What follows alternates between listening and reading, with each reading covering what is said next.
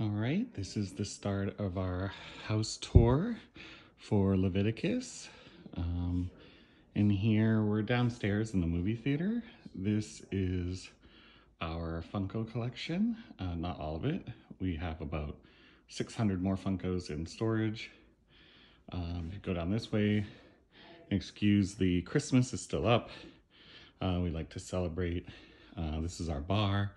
Uh, and then over here, um, we're big Muppet fans in this household, so um, we have a lot of Muppet memorabilia. Uh, and uh, of course, our uh, signed uh, Jim Henson signature, uh, which is really incredible. And I framed it with the Life magazine. Um, and if you turn around here, uh, you can see our movie theater. Um, and then over to the side here, which I will walk over to, is some of our more uh, expensive collectibles. So we have them in a showcase next to the theater. Um, Iron Giant, um, some anime from Chopper, some uh, Dark Crystal. This is a recent purchase, which I reorganized, uh, redid Kermit the Frog came broken, uh, so I had to redo the whole thing uh, and add all the greenery. Uh, our roommate Sherry has a lot of vintage Star Wars, uh, which is really, really cool. Um, Thanos, my Lord and Savior. Uh, more Star Wars, and then if you go down to the bottom, we just have a lot more Star Wars, other great statues, Illidan from World of Warcraft, more things down there. Let's see if I can get you a screenshot of our movie theater, which is really cool. Um, lots of Christmas trees and so on.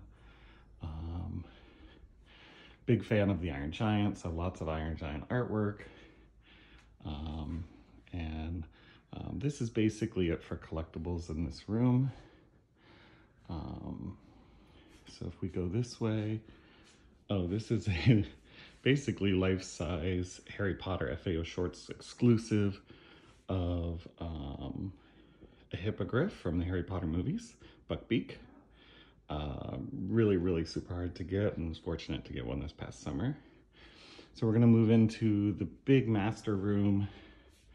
Um, Sherry, our roommate who's 76, collects a lot of Lord of the Rings. We're waiting for a big case to come in, so we have these tables here for now. I'm sort of spotlighting a bunch of her collection. Um, yeah, but she just has a ton. So I'll show you behind the big Christmas tree to my right. Um, there is a big wall here, which has a lot of her Lord of the Rings pieces. And then there's a big empty space, but we're gonna move this glass case and it's gonna be one huge area um, with a with a module um, collectible case that's coming in about two months. Uh, and this is Sherry's sort of living room area as well, um, which is pretty cool. She has lots of Lord of the Rings. And then up around the top, we have about a 30 foot ceiling here, maybe 29. Um, a lot of our really upscale, expensive Harry Potter artwork designed by MinaLima, who are the graphic designers for the Harry Potter movie um, so we try to utilize all the space we can, um, which is really neat. Hey, glad to hear from you. Are you okay? And if you look over here, this is Sherry's collection of DVDs and Blu-rays, 4Ks. It's pretty crazy, probably three or 4,000 movies there. Um, and then if we start moving over to the left side of this ginormous room, I'll show you the top, uh, more Harry Potter stuff, of course. Um, it's kind of a bitch to get a ladder up there. Um, this is sort of the entry to the Harry Potter area. Um, that's my partner's mother who passed away. That was a picture of her when she was 16, so we always keep that in the house. Um, there is some Lord of the Rings here when you come in, a 41 inch tall tree beard from Weta Workshop, and a Smaug, that whole system lights up. Uh, and this is really the start of a massive collection of Harry Potter memorabilia, probably three, 4,000 items, and we have a ton in storage. We just have so much we can't display it all, um, which is pretty crazy. Um, but I'll do a quick walkthrough Um, bunch of busts here from Gentle Giant, who no longer makes Harry Potter statues, uh, but they're super cool. Uh, pretty hard to get at this point. Uh, we have tons of wands. Um, we do not have every wand. We have over a hundred wands that Noble Collection has made, but there's about seven new ones that they've come out with recently that we do not own. Um, uh, and I'll show you all the wand boxes. Here's just a bunch of the China stuff from Harry Potter. And you'll notice there's things in here that are not Harry Potter because we wanted to make it look um, like it's not all Harry Potter, like it's a room and an environment. Um, uh, we have two chairs in here. Uh, so you can come in here and just sort of sit and uh, look at all the Harry Potter stuff. On this side, there's more Harry Potter merchandise. We even have some mannequins sporting some of the clothing. A uh, bunch of artwork here we need to hang up. Not all Harry Potter, some in the rest of the house. But I'm sort of storing it here for the moment. Um, uh, we have the Harry Potter Lego castle, which I'll see if I can light up for you. Let's see. Um, it's pretty cool. Uh, you can buy the lighting kit online and then put it with the castle, which is just incredible. It took us over a week and a half to put it all together. Uh, let me turn that off. Um, if you go over here to the left is all our wand boxes for all the wands that we have. Not all the wands that we have have boxes. Some of them come in cases or displays already. Um, then if you move over to the side, more wands. Oh, someone just came in the front door. I'm doing a video. And then if we come back here, uh, we have a three-headed Fluffy, which is made also by FAO Schwarz. Um, and then we will go upstairs. Um, uh, when you go upstairs on this side, there is a bunch of frames. These are all our sort of favorite autographs that we've gotten. Some in person, some we've bought, most of them in person. Um, I'll just do a quick walk by as I go. Um, Nightmare Before Christmas, one of my favorites. Um, this is uh, Luna Lovegood. That's not a real name, but in the Harry Potter movies. Uh, Speed Racer. Oh, Kick-Ass, where we met the stars. And uh, lots and lots of photographs. Here, you go up. And then here is, as we go up the stairs, just sort of a top view of all the rooms, or this big room, I should say. Um, it's pretty big room. It's probably over God, it's probably as longer than it is tall, so it's probably 40 feet long. So we did sort of separate that into three sort of distinct areas. Usually where the Christmas tree is, that's a dining room. Um, and then you can sort of see how large this room is when you're at the top of the stairs. So that's the Harry Potter room. That's Sherry's living room. That is usually where the dining room table is. Um, and then we'll swing around here. I have a lot of animation art. Um, this is Yosemite Sam uh, from Looney Tunes. Um, not the original background at the bottom, but uh, just a really amazing piece. Over here, we have, we're pretty high up at this point. That's a, we put all our owls from Harry Potter over here, so we call this the owl, owlry, or however you pronounce it. Uh, but there's a lot of owls, and they're pretty high up. Um, as we come down the hallway, I'm gonna turn on the light. Uh, we have a ton of artwork from Disney as well. These are all Hipster Mickey uh, artwork pieces on canvas, and I sort of made them as a collage. Um, and I'll just sort of scan around here. Uh, in this hallway junction, there's a bunch of cabinets, um, some Transformers at the top, and then some Naruto figure statues.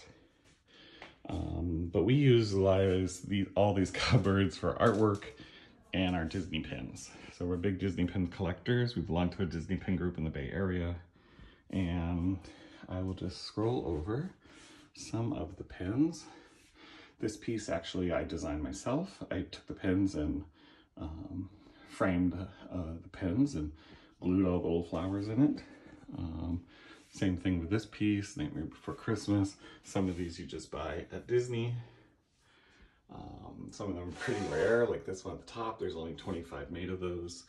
Um, so, but if you go around, sorry for the quick motion, uh, and open these cupboards, um, all these cupboards have uh, pins in them, and I try to display them as nicely as possible, but we do have quite a bit.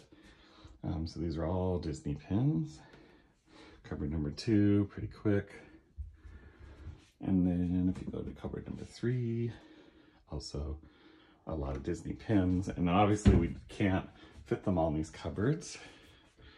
And I will show you the bottom cupboards. So the bottom cupboards have folders and they're all names. So Nightmare Before Christmas, Sorcerer Mickey, the last one's not named for some reason. Um, uh, there's a bunch more binders in here and all those pins and those um, green Tupperware dishes are all new ones that we've gotten that I haven't been able to put in the database and put away. Oh, the cat's gonna get stuck. So, um, and then this last cupboard is all our artwork that we get and we put them all into binders, acid-free binders, so it keeps them nice and safe. So we'll turn around. Sorry for the crazy um, motion. Uh, at the end of the hallway, when you come down here, this is my Muppet collection um, from Palisade Toys, basically. There's some odds and ends in there, but this is a company that was on the East Coast. Unfortunately, they're out of business now, but the figures are quite hard to get, even nowadays. Uh, some of those figures you had to go to like a women's brunch to get, or a you know, there's a special event. Um, and I think that's why they went under. They spent so much money on making like 30 figures for one little event. Um, just wasn't, just wasn't worth it. We're gonna go in here real quick. This is the master suite. I do wanna show you that we're big animation collectors. Uh, this is sort of my prized wall. Uh, this is Hogarth from the Iron Giant original pencil sketch pencil sketch from Teen Titans. Um, you have down here an original cel from Fern Gully. Um, there's just a, we have just a bunch of animation uh, cels throughout the house and uh, animation artwork. Um, so if you go down the hall, back out of the master room, um, you have part of my Transformer collection. Um, uh, it was Transformers was the first thing I ever collected. Uh, probably more than half the collection is in storage, but I was able to at least put some of it on this wall. And uh, every shelf is full. Um, there's no more room. Uh, so I, I, don't really buy Transformers as much as I used to because um, I have so many. And, um, you know, you can only do so much. Um, some more stuff on this side. And as we go down the hallway to the guest bedroom, here's a signed piece by the voice actor who did uh, Jack. There's only five of these, I think, made on canvas. There's posters of this and other sort of types of uh, um, artwork that's made from this image, but only five on canvas. On a canvas.